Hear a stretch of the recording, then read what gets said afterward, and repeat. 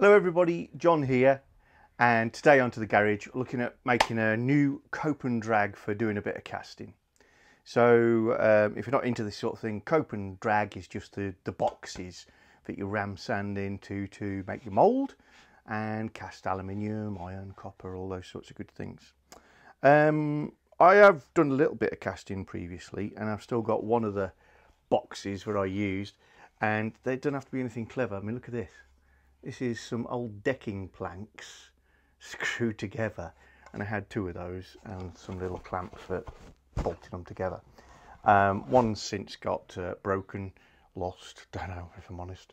Um, so I need to make up uh, a new cope and drag. And anyway, this is a little bit big for the sorts of things I'm looking at casting at the moment. Not very matters if it's too big, it's just a lot of sand and a lot of effort for um, tiny little things. So over here we have our fix. And these are wooden boxes that you can pick up from any car boot sale. Uh, tend to have things like engineering instruments in them. These have had machine tools. Um, so you can see the foam inserts for a round tool that's been in there. And I've got a few of these knocking around me. So my plan is strip out the insides of these take the lids off and then I'm going to use the two bases without the bottoms on to make the cope and drag. And I've got an idea how to use the latches so that uh, it's all looking neat and smart. So here we go. I'm start getting the foam out of this one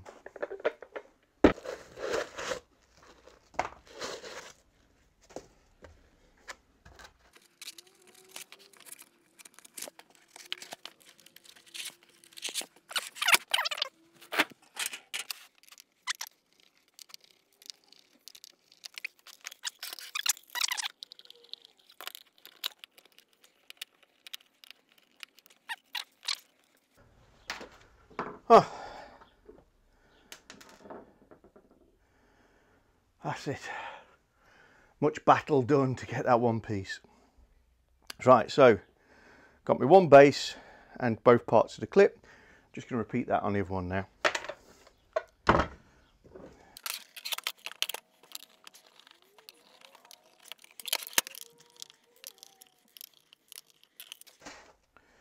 There we go. So, I've got my two bases. I'm going to do is put them together back to front like so and refit the other halves of the clips so that it can clamp it back together.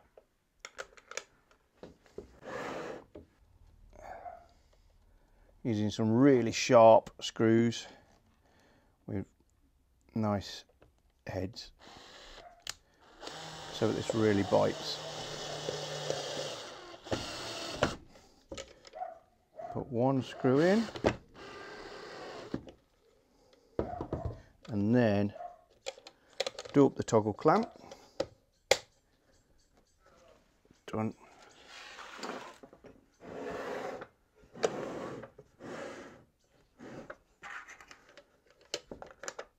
Other one in.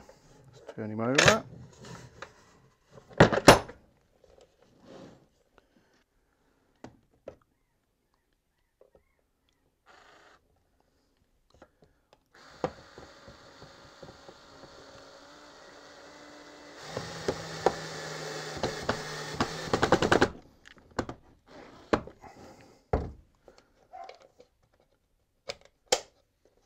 There we go. Now, Can whip the others in.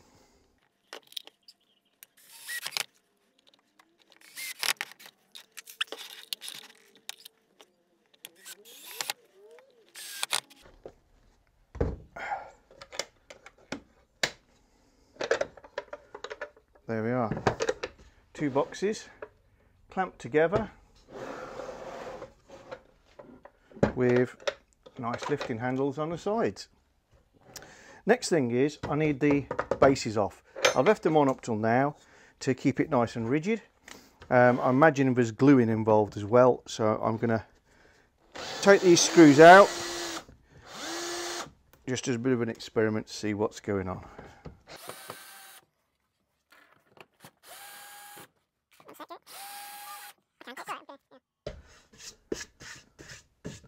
So this is the plan B process. We're going to keep the base on, We're instead cut a hole in it using the base as a frame. I'm going to use a spade bit in the corners. Um, and all I'm going to do is touch the blade to the wall on one side. Try and match so I'm nice and even in the corner. Touch it Yep, that's nicely positioned. Hang it over the edge.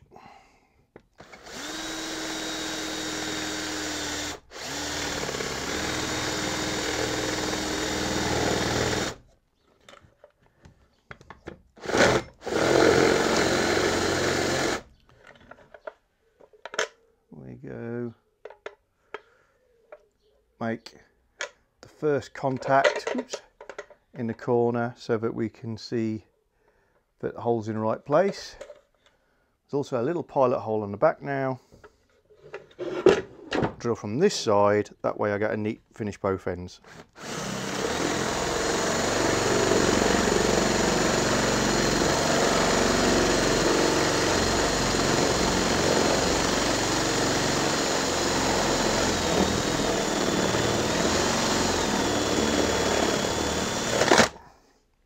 and repeat four times.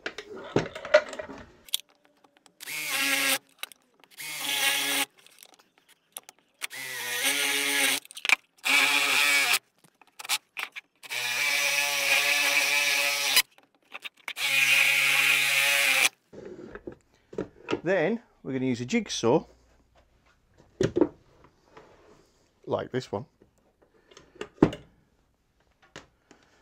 to cut along the inside of the box. I'm going to lean the blade on the wood. I should be able to feel when I'm touching it. Getting a perfect finish isn't important.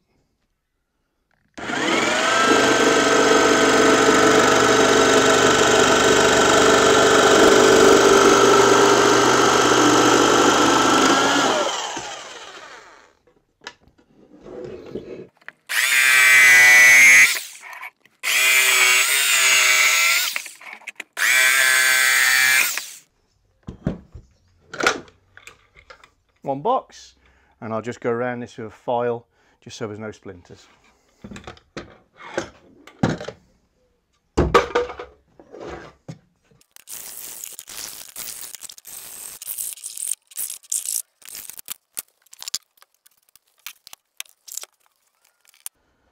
Okay. So, there we are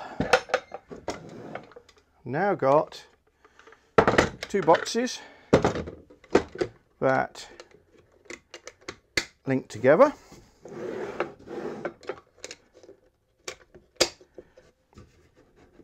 And we're almost there. All that's lacking really is something to align it so that when you put them down, you know you're getting a really accurate alignment. So for them alignment dowels, I basically got these nice heavy angle irons, uh, a long bolt with a short nut, a matching item which has a reasonable fit. I think I've got a clearance in there about half a mil maximum, which is more than accurate enough for me and what I'm going to do is pop two holes in each of these brackets and screw them with some uh, good screws to the side of the box. Both on this side of the box. That way I'm giving myself a bit of foolproofing or a poka-yoke if you like that language um, meaning I can't put it on back to front which is a, uh, a potential casting issue. So I'm going to drill a holes in these and get them in place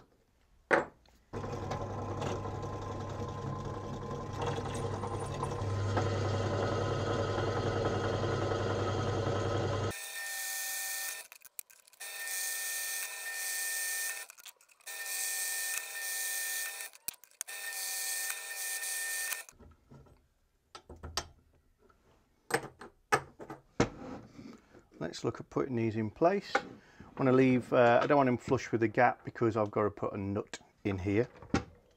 So let's just see how much space I'm going to leave. And on she goes.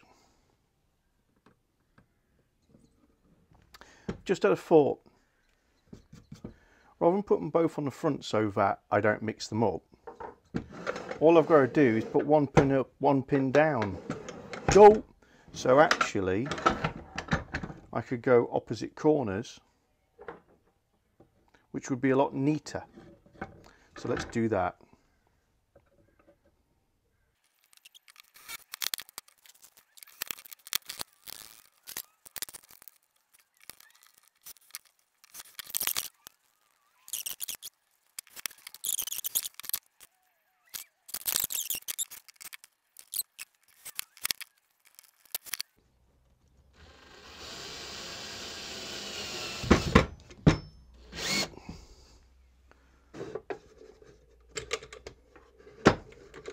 Undo the clamps, lift box off.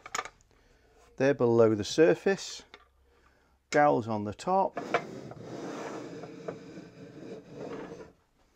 and I can just position using that and that together and there's no play and one thing I will do is probably just put a point on the end of the uh, pins just to make it easier to pull them together. What I'm going to do is get a length of some nice reflective paint, uh, not paint, tape even. There we go. This sort of stuff that number plates are made of put it there.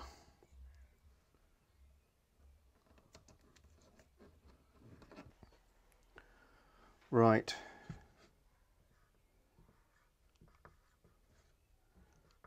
Drag and cope.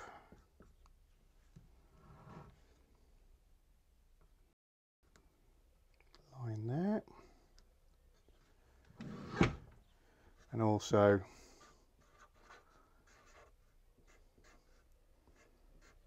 bottom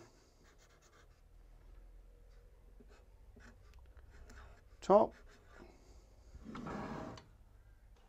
and hopefully this will get reassembled the right way. Just grab my knife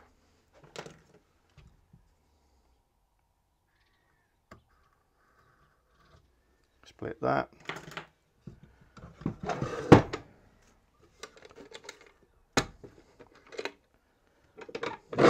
Split that and rub that down. One cope and drag made for peanuts and I do mean peanuts. Those two boxes cost five pounds a pair and um, everything else is odds and sods that I got knocking around in the garage. I hope you've enjoyed this episode of To the Garage. Um, we're going to be doing some casting, obviously. Um, if you want to follow along with this series, that'd be great. Look at all the other great videos that are on To the Garage. Anything to do with playing around in garage and shed, Jaguars, T25s, Navaras, all the toys and bits and pieces I like playing with, then please subscribe. Uh, please consider sharing. Give us a thumbs up. Always pleased to see your comments. Uh, what are you guys using for copes and drags? If you've uh, got your own little um, forge, foundry, or whatever processes you've got running in your back garden, um, love to hear from you. So until next time, see ya.